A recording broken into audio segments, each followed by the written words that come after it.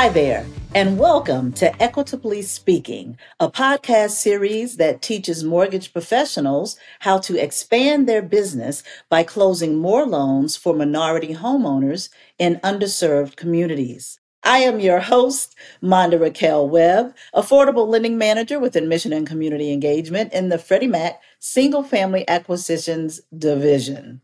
Day by day, I manage Freddie Mac HUD approved housing counseling agencies nationwide who focus on closing the homeownership gap for borrowers with low and very low to moderate incomes.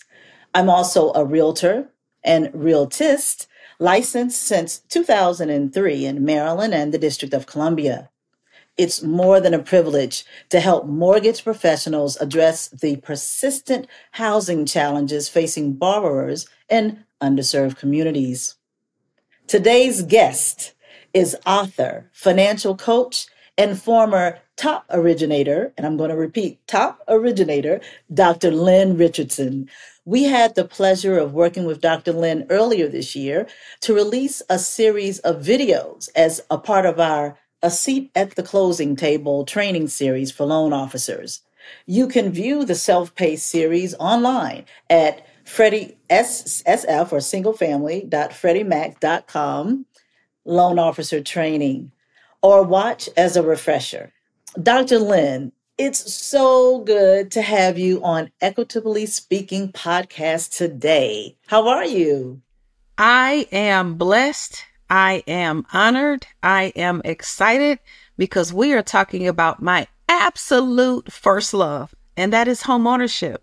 Homeownership is how I started in the financial services industries.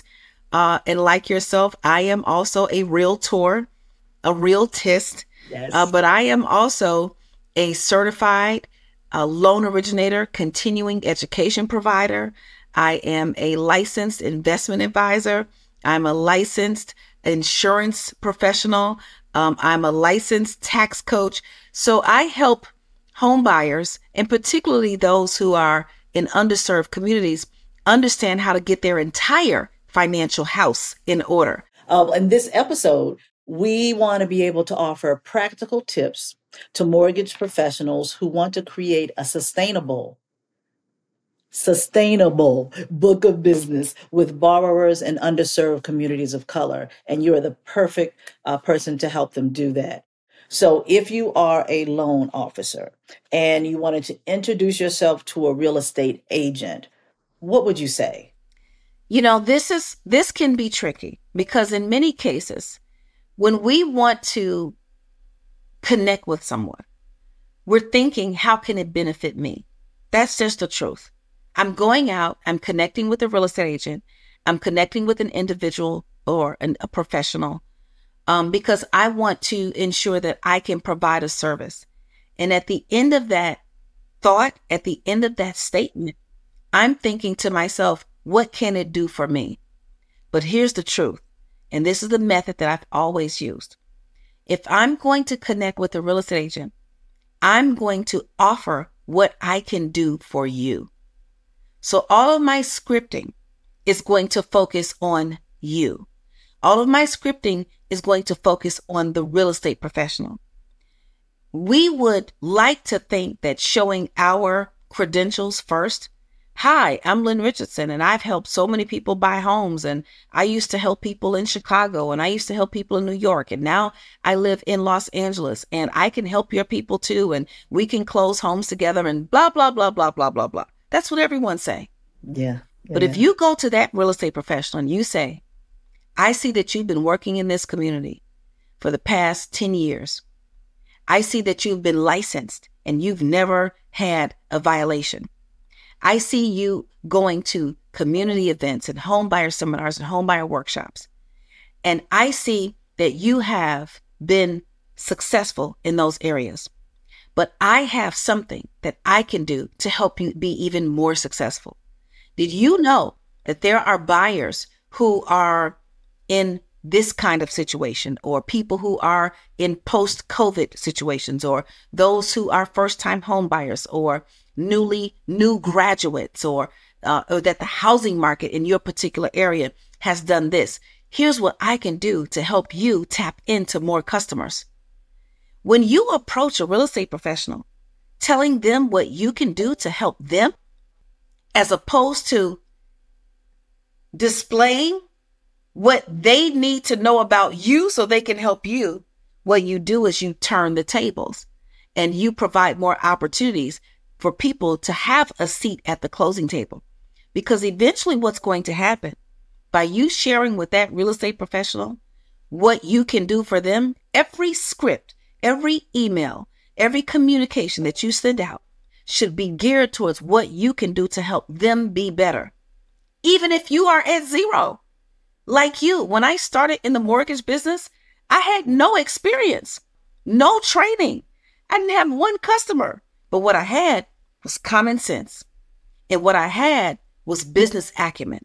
And so I took that common sense and that business acumen, and I then made myself available to let people know you may have loans that have gotten denied. Why don't you let me take a look at them? I think I could turn this around.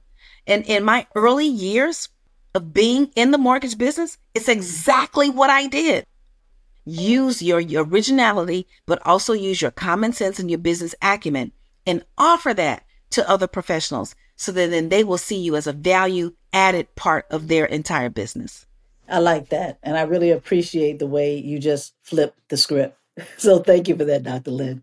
Um, I also think that uh, with you know your knowledge base and the compassion that you have and show um, to be able to to share um, in terms of what you're offering with your partners um, can also help, right? So, for example, Freddie Mac has several mortgage programs that can help borrowers get into a home with as little as 3% down. You still have a lot of people thinking that it takes 20% down to, uh, to get into a home.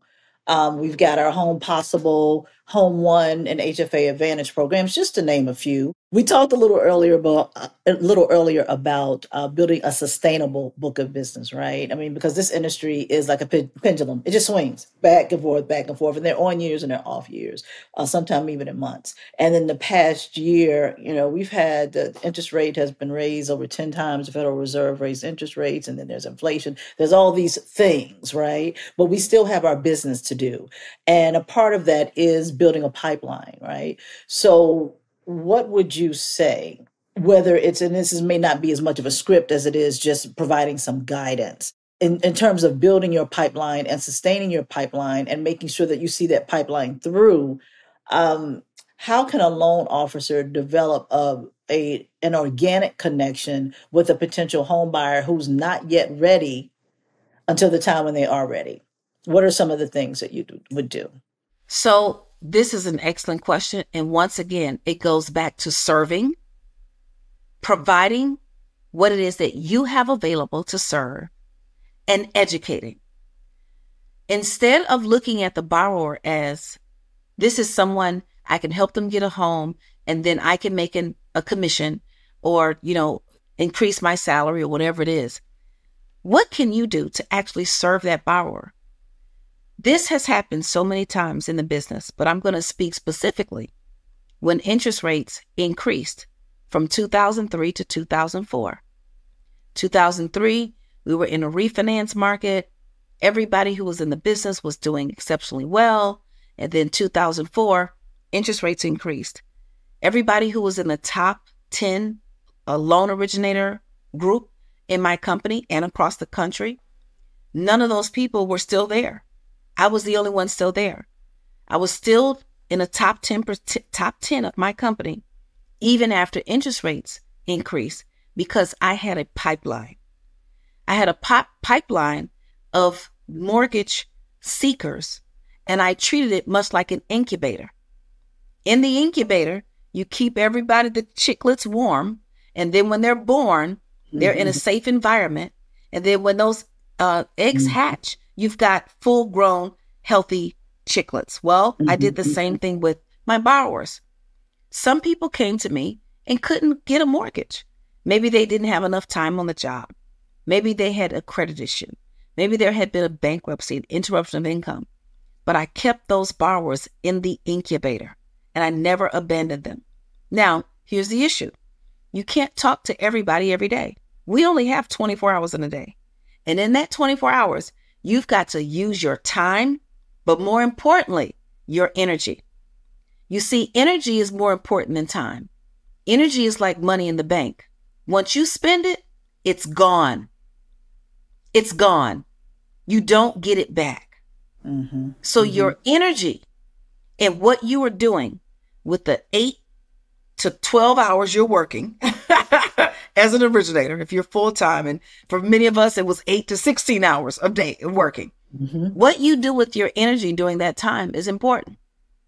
You cannot speak to a thousand consumers that are in your incubator and speak to the eight or nine consumers who are closing in a week or two at the same time. There's no way to do it. But in the incubator, there's an automated email that goes out once a week. In the incubator, there are different topics. Are you dealing with budgeting? Are you dealing with credit? Did your credit score increase or de- decrease? Um, do you need to pay down your debt? There are things that you can say to people in the incubator to help them in their regular business, life, or financial journey while they are getting ready to buy a home. Also in the incubator, offer once a month, once a week, just a Q&A, a 30 minute Q&A with 500 people, a thousand people, or 10,000 people in your incubator can go a long way. Because let me tell you what else is happening. You're building a relationship. No one else is doing this. No one else is reaching out to say, Hey, I want to help you, even though you're not going to buy a house right now today. During that Q&A, one of the beautiful things about Q&As is one person asks a question, but a hundred others were thinking it. One person asked a question, but 2,000 other people may have been too embarrassed to ask that question. So now you answer one question that can help dozens or potentially hundreds or thousands of people. And now you looked at as an expert. So they may be in the incubator three months, six months, nine months, a year, two years. The question that I ask you as a loan originator is do you want that customer today? Do you want that customer in three months? Do you want that customer in three years? Or do you want that customer in five years? The answer is all of the above. I want that customer whenever they think about buying a home. I want them to call me. So you've got to figure out ways to communicate with as many people with as little time and energy as possible. So if I communicate with a thousand people at one time on a virtual webinar, a home buyer seminar, a credit uh, workshop at the same time, then I am giving my best value and I'm being much more efficient with my time and my energy. So now I've got time and energy to handle all the other areas of my business and my life. And that needs to be set up like a military style. What's your schedule? How do you, what does your day look like? What does your week look like? What does your month look like?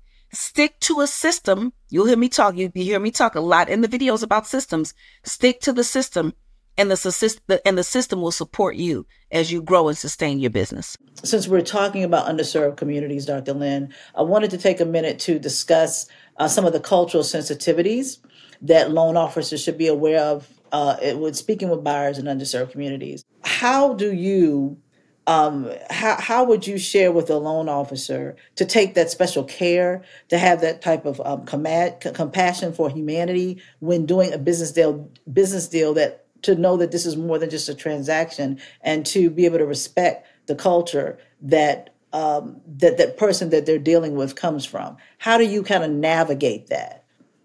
This is an excellent question, and it's one that I have been faced with and dealt with uh, since the, the very first day I ever did one single loan. And the first thing that I would say is to do not judge any book by its cover. It doesn't matter what you think about what you see. It doesn't matter if the person in front of you is black, brown, yellow. It doesn't matter. Treat every single individual like a human being and have an objective process that allows you to learn about the individual in front of you. What I should do is stick to my script. yes. Stick to my script. Yes. Go back to the script and ask the same questions of everyone. What is your name? What is your social security number? What is your nationality? What is, oh, okay. Um, when did you, how, are you a U.S. citizen? When you ask those questions in the script, you will get the answers that will tell you where to go next. Now, one of the interesting things about being a loan originator, it's a, it's sometimes like being an attorney.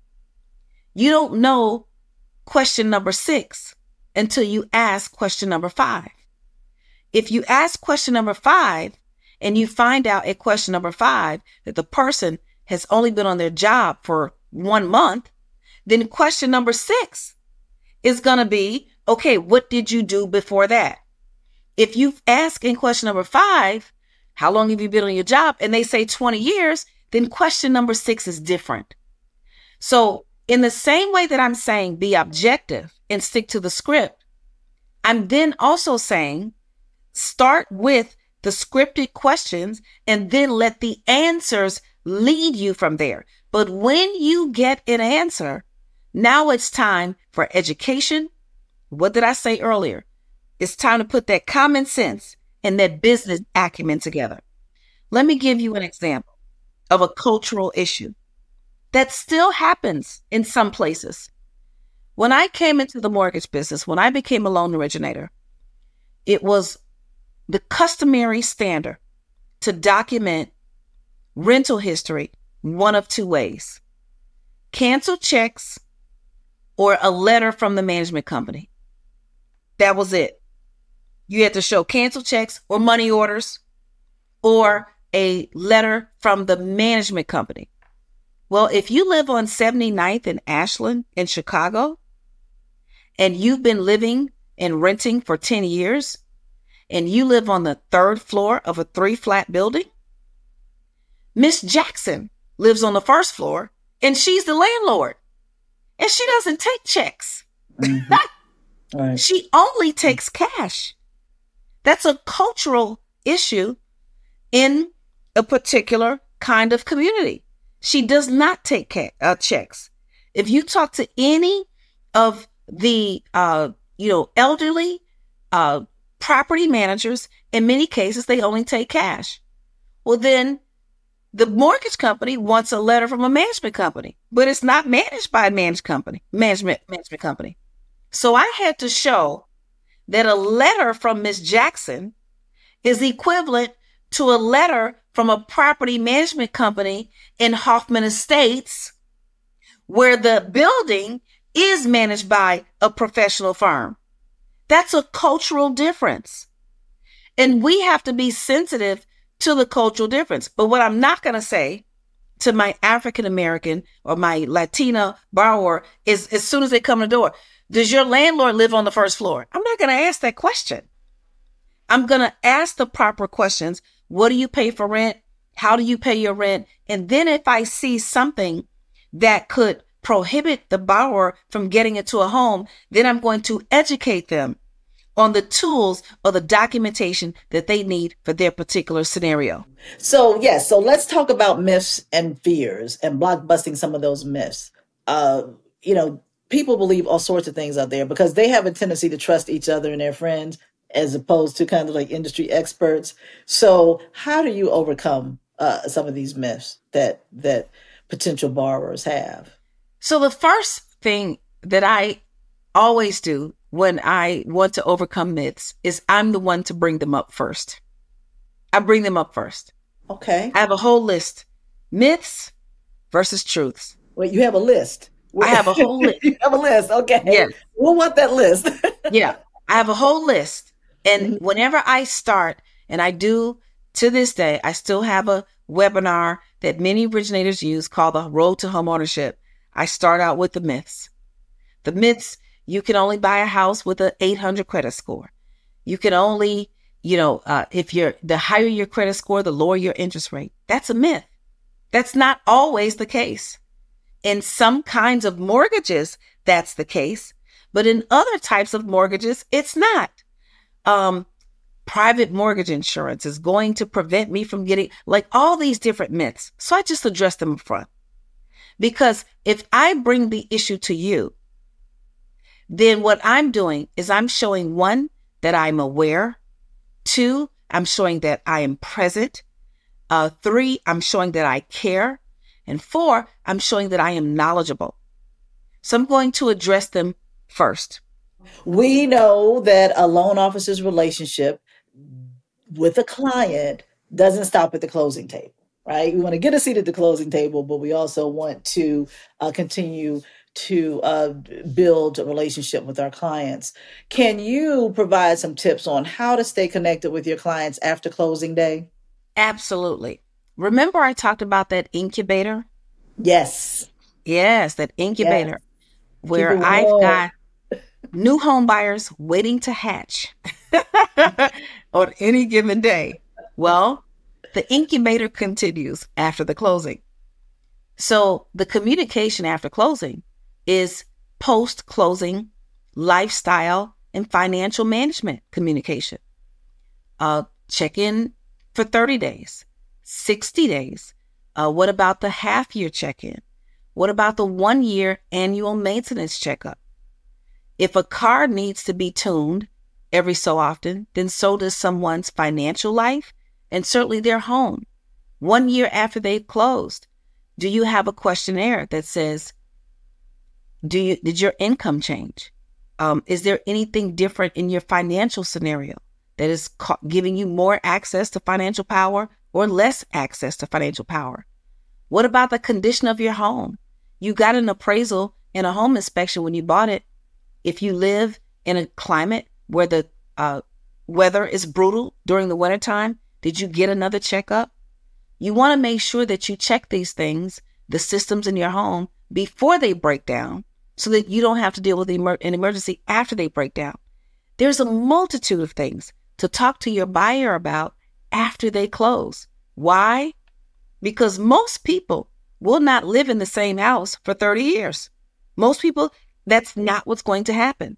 At some point, they may buy a new home, they may relocate, they may buy investment property, and you want to make sure you're a part of that person's life and not just there for one transaction. So keep that incubator going after the closing.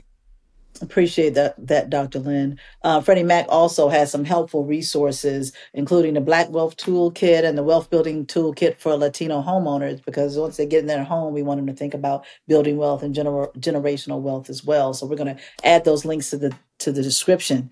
So, Dr. Lynn, Dr. Lynn, Dr. Lynn, this has been such an informative episode of Equitably Speaking.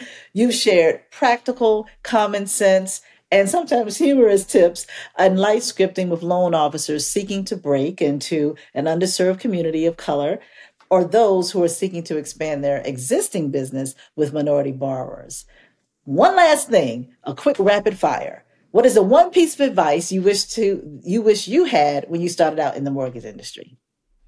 The one piece of advice that I wish I had when I started out in the mortgage industry is that I can do much better with a team than I can alone. It takes teamwork to make the dream work. So, a couple of months into the business, I hired my first assistant, even though I only had one closing and I really couldn't afford it.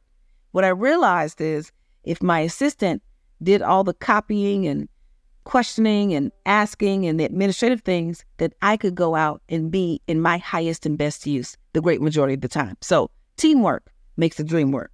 I love it. And thank you for sharing how people can win with Dr. Lynn. Uh, so thank you so much for joining us. Tell our listeners how they can uh, get in contact with you or, or keep keep it or, or, keep in touch with you uh, with your videos and such. Go to asklynn.org so we can stay connected. You can ask me a question. I'll put you in my incubator. That's how you get in my incubator. And follow me on all social media at Lynn Richardson. This concludes today's episode of Equitably Speaking, a podcast series that teaches mortgage professionals how to expand their portfolio and close more loans for borrowers in underserved communities. To learn more about how to expand your portfolio and close the homeownership gap for borrowers in communities of color, visit sf.freddiemac.com forward slash LO training to start your A Seat at the Closing Table learning journey today. If you enjoyed this episode, and I truly hope you did, rate it. Hit the subscribe button below to make sure you don't miss another episode and share it with your colleagues. Thank you so much for listening.